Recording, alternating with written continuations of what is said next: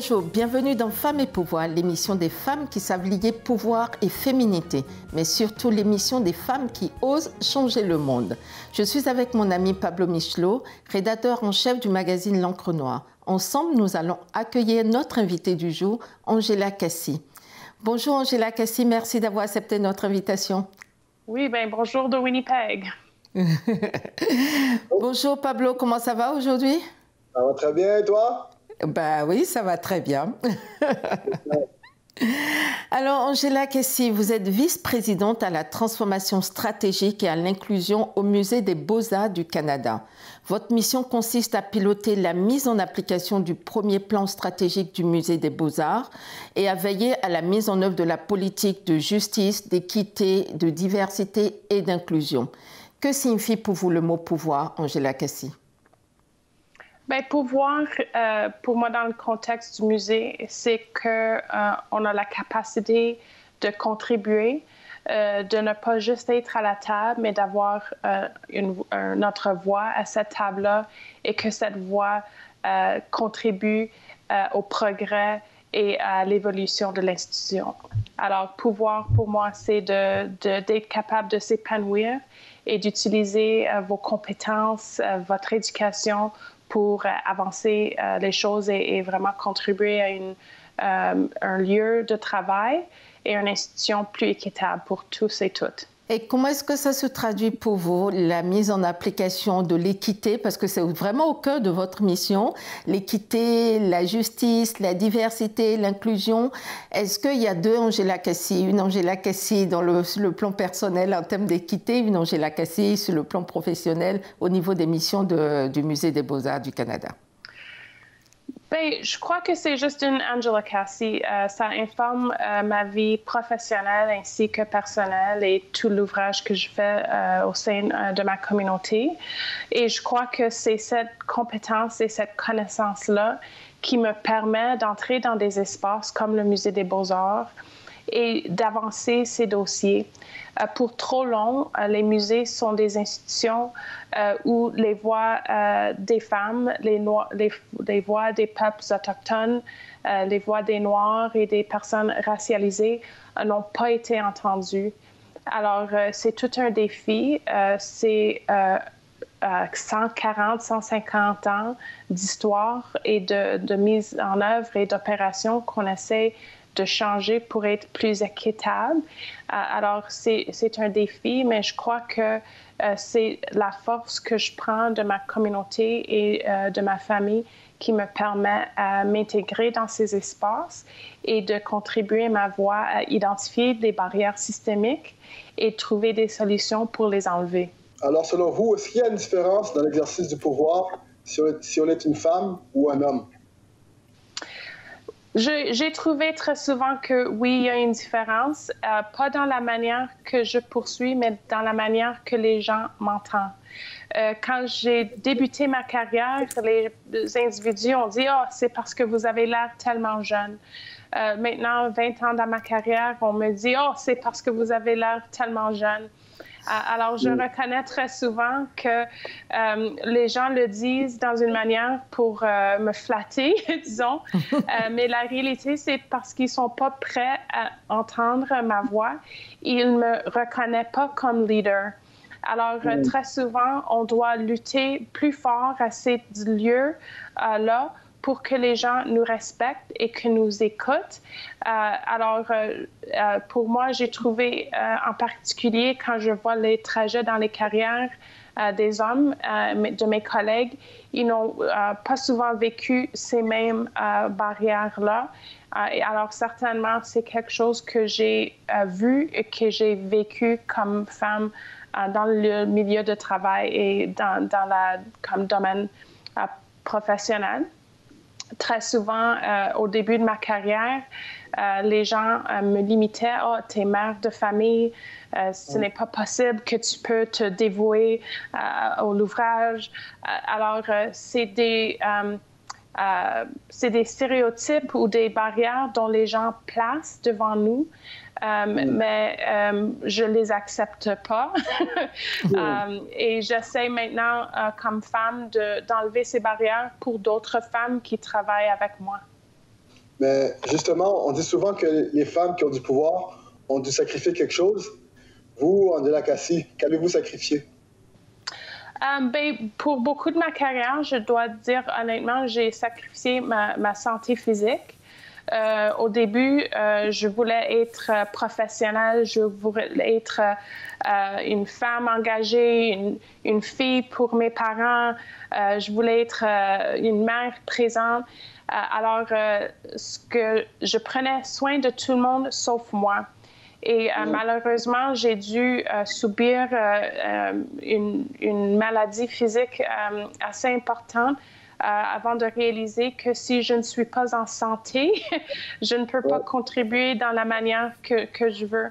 Alors, c'était une leçon durement apprise, mais ça m'a permis de, de, réaliser que prendre le temps pour prendre soin de mon corps et aussi, euh, il y a un aspect euh, de mon âme que je dois protéger mes énergies. Euh, quand on lutte, quand on pousse, ça prend un, un taux sur notre morale aussi. Alors, développer des stratégies pour prendre soin de mon corps et aussi de mon âme. Bien, OK.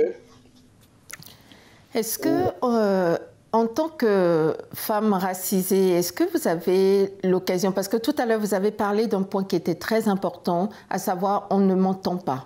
On, est, on ne me voit pas comme leader. Est-ce que vous avez l'occasion de partager cette expérience avec d'autres femmes, d'autres jeunes femmes ou des femmes noires qui sont dans le même, au même niveau que vous? Et, euh, et qu'est-ce, qu'est-ce que vous en déduisez? Comment est-ce que vous l'utilisez, en tout cas pour encourager des plus jeunes? Bien, pour moi, c'est d'encourager euh, les jeunes de ne pas lâcher. Euh, très souvent, ces systèmes euh, nous sentent. le succès de ces, systèmes, c'est quand on dit je ne peux plus et qu'on quitte les systèmes. Et ce n'est pas de dire qu'à un certain point, on doit se protéger, mais pour moi, c'est de vraiment trouver des alliés et parfois, ils ne se retrouvent pas dans l'espace de travail. Alors, j'ai un network d'autres femmes professionnelles, d'autres femmes noires professionnelles, et ils euh, sont un appui incroyable. Euh, je suis capable de partager avec elles. Elles me comprend euh, dans une manière que d'autres personnes ne peuvent pas me comprendre. alors, pour moi, c'est de trouver ces ressources-là pour qu'on se sente moins isolé dans nos lieux de travail. Alors, très souvent, euh, j'étais la seule euh, femme euh, racialisée dans, mon environnement. Alors, je n'étais pas capable de trouver ces alliés ou ces individus avec un vécu semblable dans ce lieu de travail-là. Alors, pour moi, c'était de, le trouver autre, dans d'autres milieux. Euh, et c'est pour ça que euh, mes liens à la communauté sont extrêmement importants euh, parce que c'est de là que j'ai un appui, c'est de là que je peux me remettre c'est de là je peux prendre beaucoup de courage parce que je réalise que je suis peut-être seule dans l'espace, mais je suis là sur les épaules de mes ancêtres et entourée par des individus qui sont peut-être invisibles avec moi dans cette lieu de rencontre, mais je sais qu'ils sont là pour moi. C'est magnifique, Angela. Euh, quelle stratégie pensez-vous que les, femmes devraient mettre en place pour accéder aux instances de pouvoir? Bien, pour moi, comme j'ai mentionné, euh, certainement, euh, avoir des alliés à l'extérieur est extrêmement important, mais c'est aussi de les trouver à l'intérieur. Euh, de vos euh, lieux de travail et d'être à l'écoute et d'apprendre. Euh, pour moi, j'ai aussi eu l'occasion d'avoir des gestionnaires, des patrons qui ont vu en moi une capacité et qui m'ont encouragé de poursuivre des projets. Et parfois, c'était des projets qui j'aurais pas dû les faire, disons, comme euh, euh, dans la fonction publique, on, dit que c'est un stretch project. Alors, c'était des lieux où je me sentais pas à 100% que ça rentrait dans mes compétences et mes connaissances, mais j'ai eu l'appui d'apprendre et j'étais bien entourée et outillée. alors, pour moi, c'est de prendre ces expériences-là et, de, de, demander beaucoup de questions euh, et d'utiliser ça comme apprentissage, disons, informel. Justement, dans vos fonctions au, sein du Musée des beaux-arts du Canada, quelle action allez-vous euh, amener pour euh, assurer l'égalité et l'inclusion au sein de cet organisme? C'est quand même un fort rayonnement. Oui, ben pour moi, c'est de vraiment développer une stratégie très claire. C'est plus que d'avoir euh, des souhaits euh, et, des promesses, mais qu'on a un plan d'action très clair et que ces plans d'action ont des mesures et des objectifs euh, qu'on articule et avec des délais très clairs. quand je regarde l'organisme, il y a des jours que il y a beaucoup, il y a beaucoup de projets, il y a, beaucoup de voies et de pistes, euh, mais on doit commencer à quelque part et, prendre un pas avant l'autre. Alors, le plan d'action, oui, on développe, un plan stratégique. Ce plan stratégique a des, euh, liaisons à la justice, à l'équité, à la diversité tissées dans notre plan stratégique, mais à côté de ce plan stratégique est un plan d'action d'équité et d'inclusion. Alors, on va regarder euh, ce qu'on fait en tant que ressources humaines. On va revoir tous nos politiques, nos programmes, ainsi que euh, nos approches à notre collection et à nos expositions. Alors, on peut tout, pas tout le faire dans une journée, mais avec un plan concret avec des échéanciers clairs, ça va nous permettre de continuer euh, et d'avancer ces priorités et nous assurer que ça euh, s'est répandu dans tout l'organisme. Mmh. Et que pensez-vous de l'instauration des quotas? Dans quelques instances, euh, les quotas sont nécessaires, mais ça, vraiment, ça dépend sur l'environnement. Parce que si on ne change pas la culture, si on ne change pas les politiques, si on ne change pas les pratiques, on peut amener euh, des individus dans un organisme qui n'est pas sain et qui n'est pas sécuritaire. Alors pour mmh. moi, certainement le recrutement est important, mais je veux m'assurer que les individus qu'on amène dans l'organisme ont des pistes de carrière très claires et qu'ils sont capables de, de, de réussir dans l'organisme et de monter euh, euh, dans, dans, les rangs, disons, euh, et d'accéder des postes de gestionnaire, etc. Alors, alors on utilise des chiffres pour voir si on réussit, mais pour moi, les chiffres ne racontent pas toute l'histoire si euh, les individus ne restent pas dans l'organisme ou n'avancent pas dans l'organisme. Alors, je pense que c'est de réfléchir, euh, disons, à 360 degrés euh, en tant que l'environnement, les politiques et la culture. Hmm. Parfait. Bah, je pense que sur ces mots, nous allons marquer une petite pause et nous revenons dans quelques instants.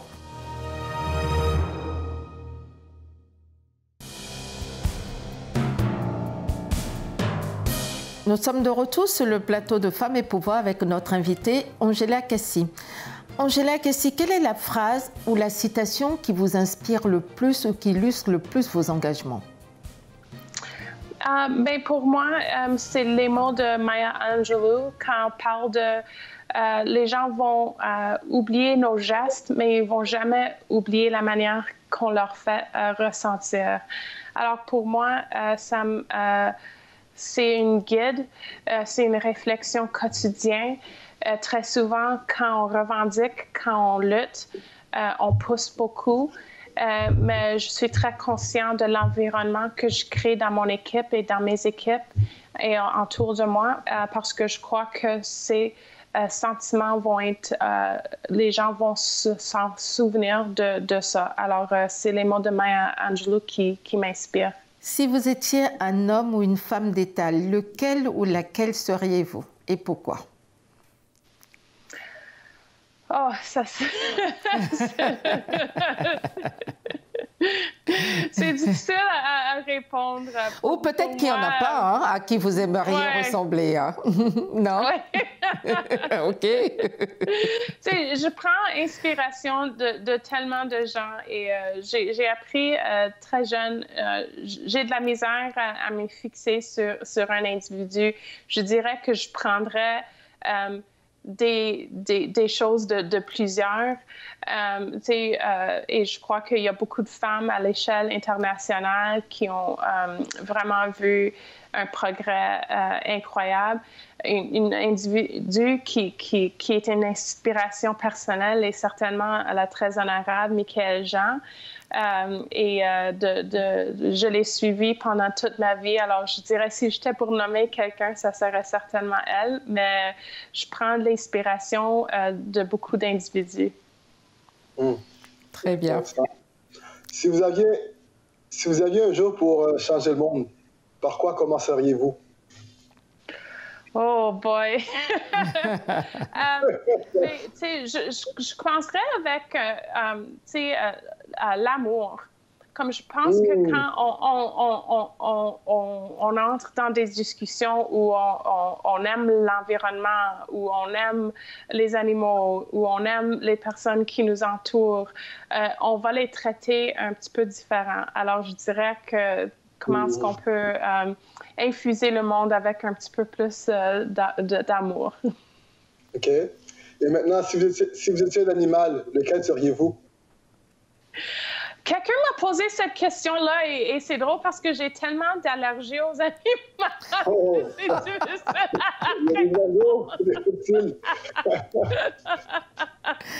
Mais tu sais, euh, j'aime beaucoup les girafes. Euh, ils m'inspirent. Il y a quelque chose dans la manière qu'ils se portent. Euh, ils ont la capacité de voir très loin. et je pense que c'est un petit peu ça que j'envisage. Je, je dois euh, euh, voir très loin, je dois avoir une vision euh, vers l'avenir et c'est un petit peu ça qui m'inspire une girafe. Et, quand ils courent, ils, sont un petit peu drôles. Alors, je, pensais un petit peu moi aussi.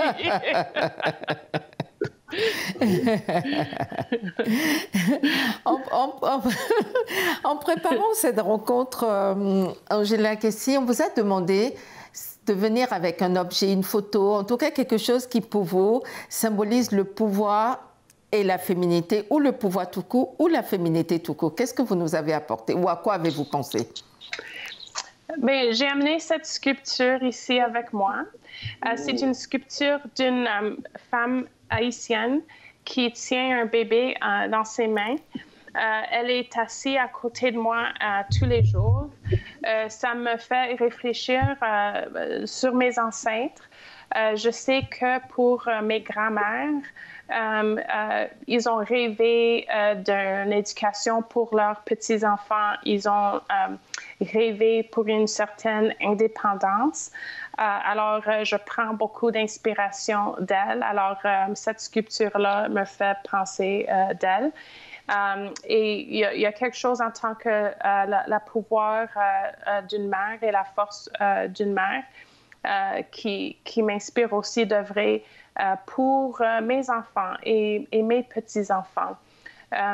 j'ai beaucoup appris des peuples autochtones de ces territoires. Ils, ont ils parlent très souvent des sept générations. Et quand ils réfléchissent sur leurs gestes, ils pensent de leurs ancêtres il y a cette génération et ils pensent aussi de cette génération euh, dans l'avenir.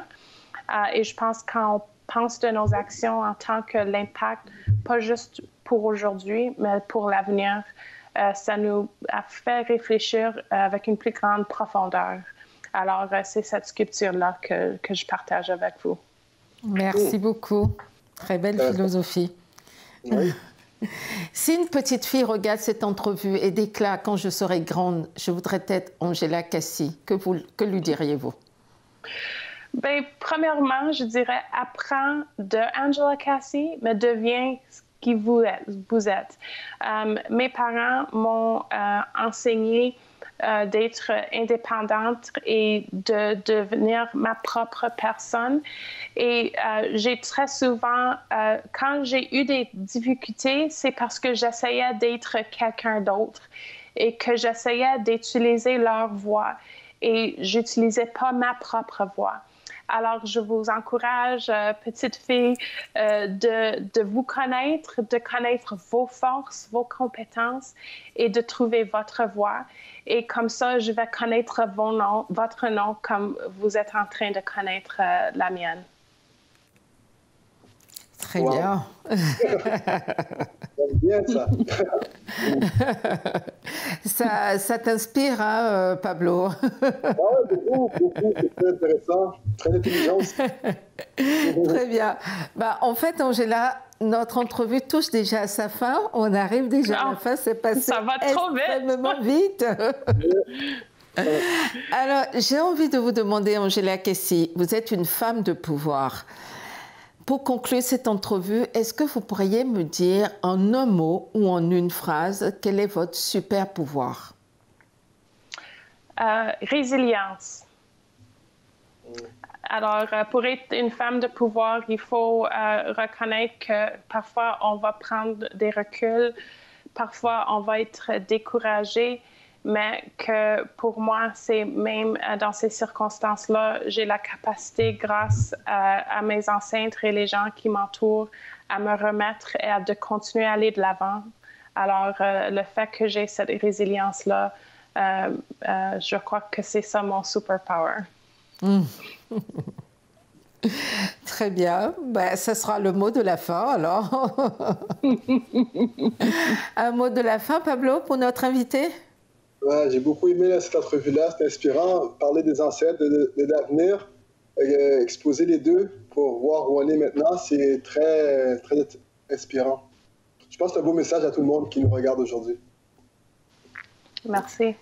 Merci beaucoup. Merci Pablo d'avoir été avec moi aujourd'hui. Merci Angela Cassi pour euh, d'avoir partagé en tout cas toute cette philosophie et toute votre authenticité avec nous. Ça a été un très beau moment et je suis d'accord avec, euh, avec Pablo que c'est un beau message que, que j'espère que je suis sûre même que nos téléspectateurs et téléspectatrices apprécieront. En tout cas, je vous dis à très bientôt. Merci beaucoup. Oui, ben merci à vous. À bientôt. À très bientôt. C'était Femmes et pouvoir, l'émission des femmes qui savent lier pouvoir et féminité. Si cette émission vous a plu, n'hésitez pas à nous soutenir en allant sur tous nos réseaux sociaux et bien évidemment sur notre chaîne YouTube et sur notre chaîne www.femmesetpouvoir.tv. Je vous dis à très bientôt. Bye.